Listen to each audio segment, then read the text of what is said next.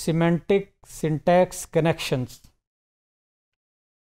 dear students मुझे इस module में आपसे सिमेंटिक्स और सिंटैक्स के कनेक्शन के बारे में बात करनी है। How they they relate to each other how they they are contribute to each other and what are the meanings of these first of all I will tell you about the the meanings of semantics semantics से मुराद किसी भी language में words meaning की description है। इसमें बताया जाता है कि वर्ड्स जो हैं वो कैसे बनते हैं। किस तरह मार्फीम मिलकर आ, वो वर्ड्स बनाते हैं और एक एक वर्ड में कई कई मार्फीम्स हो सकते हैं। और जो सिंटैक्स है सिंटैक्स से मुराद rules that govern the making of structure of sentences तो सिंटैक्स जो है, वो गवर्न ग्रामर के रूल्स हैं जो सेंटेंसेस के स्ट्रक्चर के बारे में डील करते हैं। और किसी भी लैंग्वेज प्रोग्राम में सिमेंटिक्स का जो प्रोग्राम है, वो वर्ड मीनिंग का प्रोग्राम है और सिंटैक्स का जो प्रोग्राम है, वो सेंटेंसेस मेकिंग का और उसके जो स्ट्रक्चर्स हैं, उसके जो पैटर्न्स हैं, उसकी जो फॉर्म्स हैं, उनका, के बारे में है। और ये दोनों मिलकर सिमेंटिक्स एंड सिंटैक्स मिलकर ही कोई लैंग्वेज डिस्क्राइब करते हैं, किसी लैंग्वेज को डिफ़ाइन करते हैं। और, यही बेसिकली इसको डिज़ाइन करते हैं किसी लैंग्वेज को, और उसके बारे में, यानी उसकी तमाम डिटेल्स और तमाम तफसीलात जैसे कि किसी बुनियाद, किसी बिल्डिंग की बुनियाद में आप समझते हैं कि ईंटों से उसकी बुनियाद बन के फिर वो दीवारें बनती हैं। इसी तरह ये देखें, सीमेंटिक्स जो हैं, वो साउंड से आगे मार्फ्यूम बनते हैं, मार्फ्यूम से फिर वर्ड्स, और वर्ड्स से फिर आगे सेंटेंसेस का मरहला है। तो ये दोनों का बड़ा ही गहरा ताल्लुक है, दोनों ही एक दूसरे को कॉम्प्लीमेंट करते हैं। और ये उन लोगों के लिए भी जानना बहुत ज़रूरी है जो लैंग्वेज को इम्प्लीमेंट कर रहे होते हैं या लैंग्वेज को राइट कर रहे होते हैं या लैंग्वेज को डिज़ाइन कर रहे होते हैं।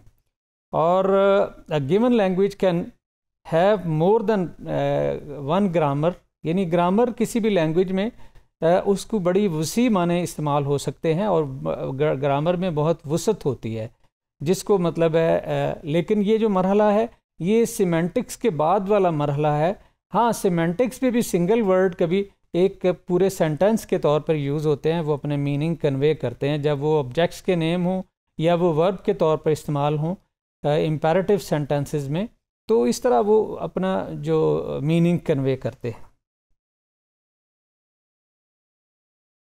Grammar presented to users not necessarily grammar used in implementation तो जो देखें ये जो ग्रामर की इम्प्लीमेंटेशन है, वो मरहलावार होगी। पहले आप सीमेंटिक्स के बारे में, उसको डिटेल से जो बच्चे की लैंग्वेज डेवलप होती है तो वो पहले उसको सीमेंटिक्स का नॉलेज हासिल होता है। और उसके बाद जब उसकी दो, तीन, चार साल की एज तक जाते जाते फिर उसमें कुछ वो सिंटैक्स का की सेंस यानी वर्ड सेंटेंस मेकिंग की भी सेंस पैदा होती है।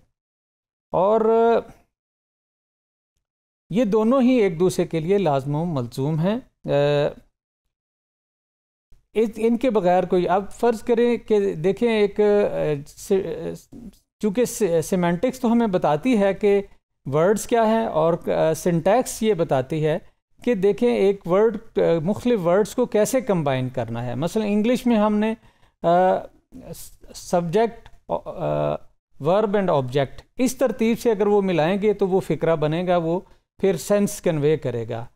मिसाल के तौर पर, अली प्लेस क्रिकेट ठीक है? अली जो है, ये सब्जेक्ट है और प्लेस वर्ब है और ऑब्जेक्ट है क्रिकेट तो मतलब ये कि सी, अगर हम इसकी तरतीब बदल देंगे कि प्लेस अली क्रिकेट या क्रिकेट अली प्लेस तो इससे फिर सेंस उसकी ख़राब होगी।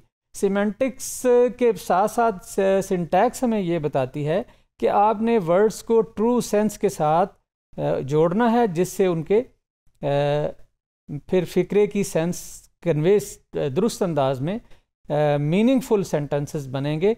और क्योंकि इसके बगैर ये दोनों, जब तक हम दोनों को हम कनेक्ट नहीं करेंगे, हम किसी भी लैंग्वेज की, को सही तौर पर हम अंडरस्टैंड नहीं कर सकते।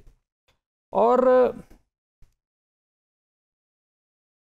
बात यह है कि वर्ड्स जो हैं चेंज होते हैं और सिंटैक्स भी चेंज होती है। वर्ड्स के चेंज होने से लैंग्वेज जो जो यूज़ होती रहती है with the passage of time या टेक्नोलॉजी के आने से या कल्चर्स के मिक्सिंग से जो वर्ड्स चेंज होते हैं, फिर इसी तरह सिंटैक्स भी चेंज होती रहती है।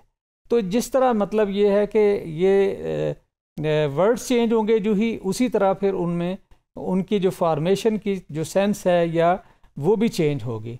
तो ये दोनों जो है इसी तरह एक दूसरे को कॉम्प्लीमेंट करते हैं। दोनों का कनेक्शन ये है कि दोनों एक दूसरे को मिलकर फिर लैंग्वेज की मुकम्मल बनावट होती है और दोनों के मिलने से ही आप किसी लैंग्वेज को ट्रू अंदाज में समझ सकते हैं। कि अकेले वर्ड से भी बात नहीं बन सकती और अकेले सिंटैक्स से भी बात नहीं बन सकती। लिहाजा दोनों की अंडरस्टैंडिंग ज़रूरी है, बल्कि पहले सीमेंटिक्स की अंडरस्टैंडिंग ज़रूरी है और उसके बाद जो अगले मरहले पर आप सिंटैक्स यानी वर्ड स्ट्रक्चर्स वर्ड्स को सेंटेंस में किस तरह उसको कंबाइन करना है, उस स्ट्रक्चर की सेंस का भी समझना ज़रूरी है जिसलिए तो इस तरह फिर आपको लैंग्वेज ये कम्प्लीटली आप अंडरस्टैंड कर सकते हैं और इन दोनों का ही बड़ा गहरा ताल्लुक है और दोनों ही एक दूसरे को कॉम्प्लीमेंट करते हैं।